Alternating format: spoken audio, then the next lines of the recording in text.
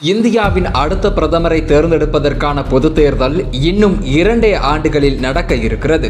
மூன்றாவது முறை பிரதமராவதற்காக மோடியும் மோடி அலைக்கு முடிவு கட்டுவதற்காக மாநில கட்சிகளும் தற்போதைய கூட்டணி பேச களமிறக்கிவிட்டன தெலுங்கு தேசத்தில் கால்பதிக்கும் நோக்கோடு கடந்த வாரம் உள்துறை அமைச்சர் அமித்ஷா ஐதராபாத்தில் வைத்து தெலுங்கு நடிகர் ஜூனியர் என்டிஆரை சந்தித்த நிலையில் தேசிய அரசியலுக்கே டஃப் கொடுக்கும் விதமாக இன்று பீகார் முதலமைச்சர் நிதிஷ்குமாரை சந்தித்துள்ளார் தெலங்கானா முதலமைச்சர் சந்திரசேகர ராவ் பொது தேர்தலில் கொள்கைகளை கடந்து எதிர்க்கட்சிகள் ஒன்றிணைவது அவ்வளவு சுலபம் இல்லை என அரசியல் விமர்சகர்கள் பலர் ஆரூடம் கணித்தாலும் அதையெல்லாம் கடந்து கூட்டணிக்கான வெளிச்சம் தற்போது பிரகாசிக்க தொடங்கியுள்ளது. பீகாரில் பாஜக உடனான கூட்டணியை முறித்து மோடி அமித்ஷா கூட்டணிக்கு அதிர்ச்சி கொடுத்த நிதிஷ்குமார். தற்போது எதிர்க்கட்சிகளை ஒன்றிணைப்பதில் மும்முரம் காட்டி வருகிறார். கடந்த பத்து நாட்களுக்கு முன்பு ராஷ்டிரிய ஜனதா தள கட்சியின் தலைவரும் பீகார் துணை முதலமைச்சருமான தேஜஸ்வி யாதவ் நிதிஷ்குமார் தான் தகுதியான பிரதமர் வேட்பாளராக இருப்பார் என பேசியிருந்தார். ஏற்கனவே இரண்டாயிரத்து பதினான்காம் ஆண்டு நடந்த பொதுத் தேர்தலில் மோடியால் பிரதமர் வாய்ப்பை இழந்த நிதிஷ்குமார் இந்த முறை பிரதமர் பதவிக்கான குறி தப்பிவிடக்கூடாது என்பதில் உறுதியாக உள்ளார்.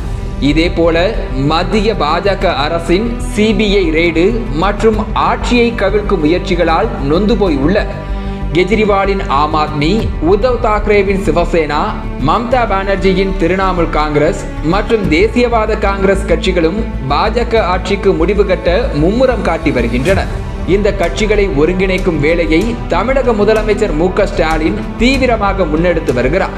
இதன் ஒரு பகுதியாக கடந்த பிப்ரவரி மாதம் நடந்த தன்னுடைய புத்தக வெளியீட்டு விழாவில் காஷ்மீரின் தேசிய மாநாட்டு கட்சி தலைவர் உமர் அப்துல்லா பீகாரின் ராஷ்டிரிய ஜனதா தள தலைவர் தேஜஸ்வி யாதவ் கேரள முதலமைச்சர் பினராயி விஜயன் ஆகியோரை அவர் ஒரே மேடையில் ஒருங்கிணைத்து காட்டுகிறது குறிப்பிடத்தக்கது.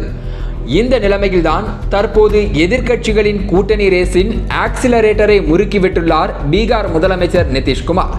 சந்திரசேகர ராவுடனான அவருடைய சந்திப்பு பாஜகவினருடைய பிரிவங்களை உயர்த்தச் செய்துள்ளது.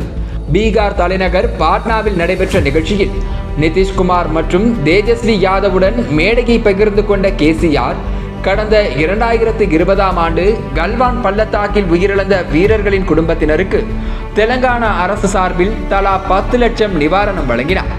இந்த நிகழ்ச்சியில் பேசிய பீகார் முதலமைச்சர் நிதிஷ்குமார் மத்திய பாஜக அரசின் கீழ் அனைத்து மாநில அரசுகளும் பாதிக்கப்பட்டுள்ளதாக கடுமையாக சாடினார் மாநில கட்சிகள் பரம்பரை கட்சிகள் என பாஜக பகடி பேசி வரும் நிலையில் பாஜகவுக்கு பாடம் கற்பிக்க அதே மாநில கட்சிகள் கைகோர்க்க முடிவு செய்துள்ளது தெளிவாகி உள்ளதாக கூறுகின்றனர் அரசியல் விமர்சகர்கள்.